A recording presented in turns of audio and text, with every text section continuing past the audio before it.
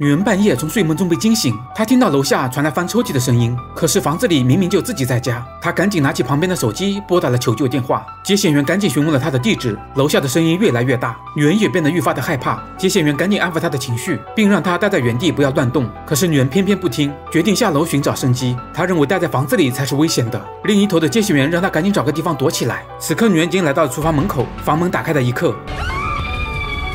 女人像是被什么东西吓到，逃跑中不幸摔到了地上，晕了过去。很快，消防员和警员迅速赶到现场。警员拿着手电走进了房间，他在地上发现了摔烂的电话，可是并没有发现房门被撬开的痕迹。他们赶紧上前给女人治疗，其他人在房间寻找可能的线索。小帅来到厨房，在地上看到了大量的面包屑，紧接着他听到仓库里传来了声响，他打开房门一看，没想到竟是一包干脆面。看到小家伙无辜的眼神，小帅也终于明白了事情的真相。原来这只浣熊是从大门的狗洞里爬进来的。他们将女人送去了医院。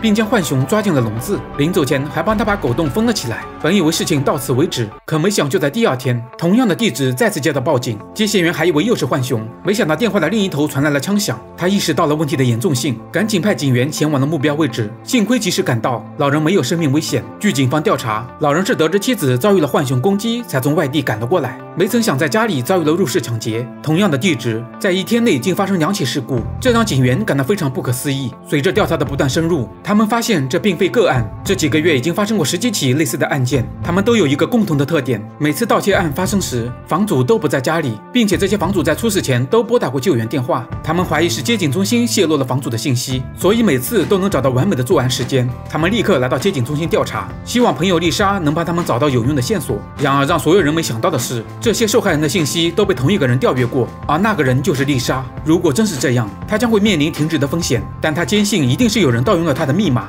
第二天，他像往常一样来到接警中心，同事小黑前来询问他的情况。得知朋友很可能会永远失去这份工作，一旁的小黑于心不忍，终于向他交代了实情。在一次工作中，他偷偷记下了丽莎的密码，通过访问通话信息，就可以轻松确定被害人在不在家，并可以轻而易举地获得房门的钥匙和密码，然后将这些信息发给他的继父，因为他的继父。最近遇到了财务问题，在外面欠下了大笔的高利贷，他担心母亲会因此受到伤害，于是决定冒险帮他。而这一切都被身后的警员听得一清二楚。另一边，小黑的继父来到了下个目标点，他们在花盆里轻松找到了房门的钥匙。然而让他们没想到的是，这里早已经被警察包围，眼看无路可走，他们只好举手投降。人生的路上不可能一帆风顺，当我们遇到难题时，千万不要走向违法犯罪的道路。